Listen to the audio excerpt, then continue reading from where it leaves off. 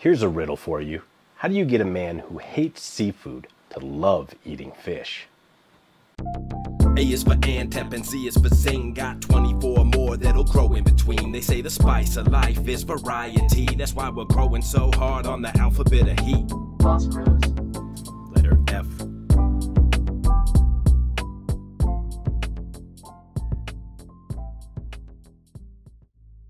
What's up, everybody? Welcome back to another episode of the Alphabet of Heat. My name is Baus. I'm a gardener and a lover of all things spicy. Today, we have made it all the way to letter F for fish pepper.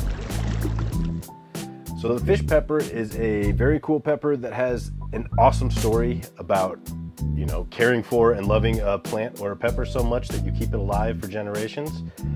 Long story short, this pepper originated in the African American community centuries ago. It was kind of lost during urbanization of America. Um, one man in particular is credited with keeping it alive, Horace Pippin. He was a painter back in, I think, the 1940s, if I rem- remembering correctly. Um, he kept this pepper alive. He ended up giving peppers to his friend who was a beekeeper, last name Weaver. I can't remember his first name. I think it might have been Ralph.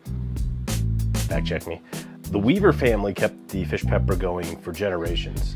And then in 1995, it was given to the uh, Seed Savers Society or Seed Savers yearbook. I forget exactly what it was, but released to the public through that channel. And since then, it has exploded, right? It's a great pepper, has a cool flavor, but it's beautiful.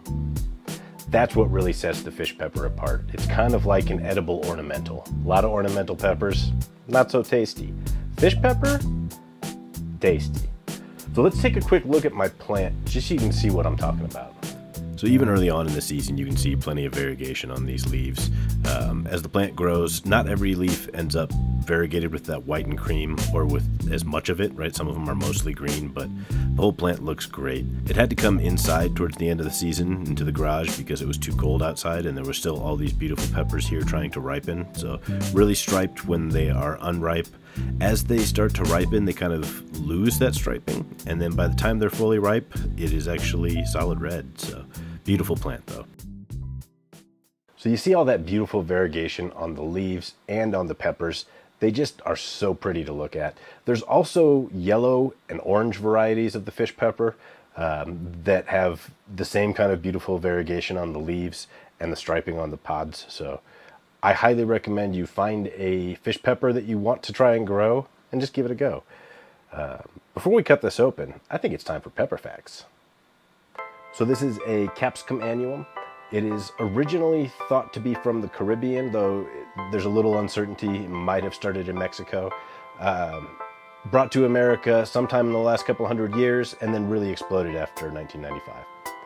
The plants grow to about two to three feet tall, and they put on these little beautiful peppers that are between one and three inches long typically. The Scoville heat units on these are anywhere from about 5,000 to 30,000 Scoville heat units, so not too much hotter than a jalapeno or a serrano. What's really, really cool about these peppers, I kind of hinted at already, is that they have a traced heritage back to individuals keeping them alive for generations. I think that's awesome, and it's kind of what inspires us to be part of a pepper lovers community today.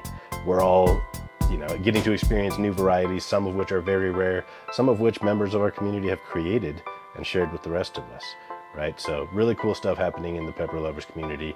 Fish pepper, I think, embodies that spirit of what we're all about.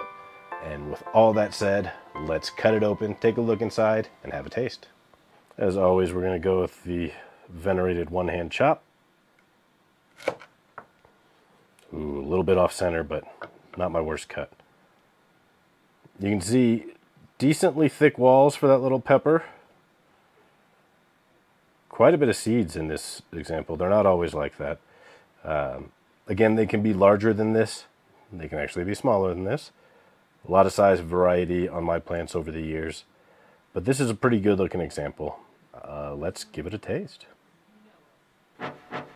Not too dissimilar from a jalapeno. I've actually eaten these for an episode of Taste the Pain in the past. Um, maybe twice, now that I think about it. I've also had the yellow fish. Maybe that's what it was. So red fish, and yellowfish I've done on Taste the Pain. But for the alphabet of heat, let's see how it tastes. Particularly sweet up front. Some people claim that these are bitter pepper. I've never really had that experience to a great extent, like maybe a tiny bit on the finish, but it could be because there's a lot of seeds in them sometimes, and seeds tend to taste bitter. The actual flesh of the pepper, though, to me is always pretty darn sweet.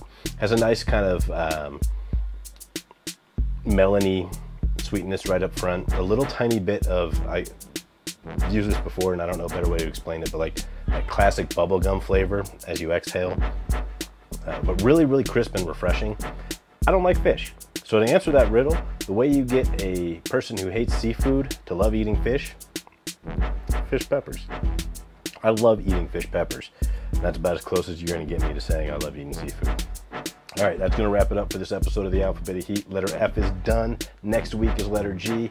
Check out this video up here that YouTube thinks you might like. I always forget what side it's on, so somewhere up here. I will see you again real soon. Lots of stuff happening on the channel, so remember, plants help us grow. Peace.